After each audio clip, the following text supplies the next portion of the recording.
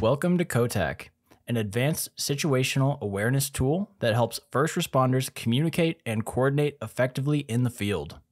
In this tutorial, we will walk you through installation and setup of the Android Team Awareness Kit, or ATAK for short. Let's begin by installing the application on your device.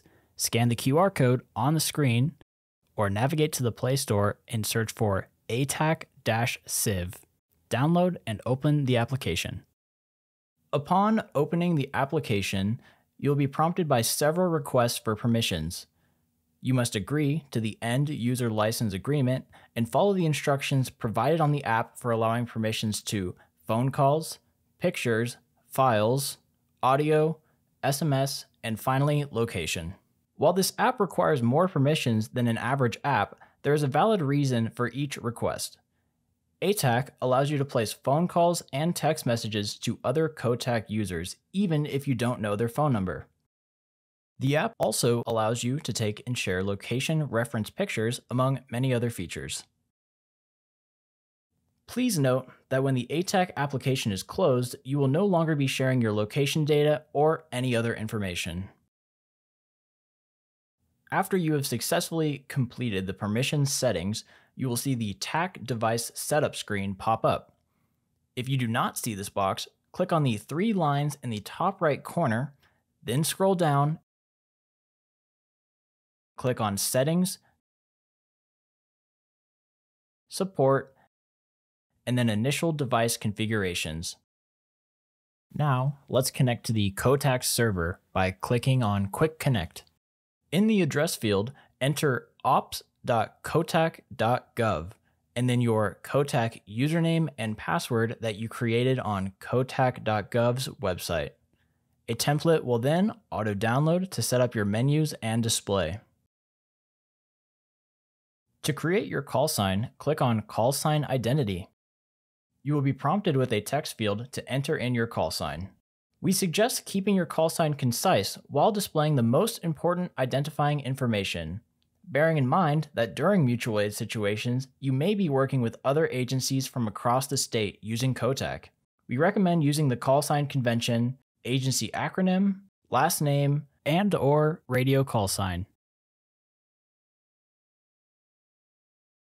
Next, we need to decide what color your marker will show as on the map.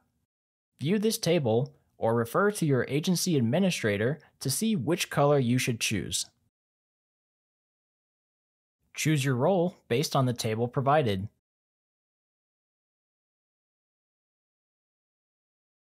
If in doubt, select the Team Member option. The ATAK app will pop up a message asking you to disable battery optimization. Please accept this request. You may also see a message saying that no channel has been selected.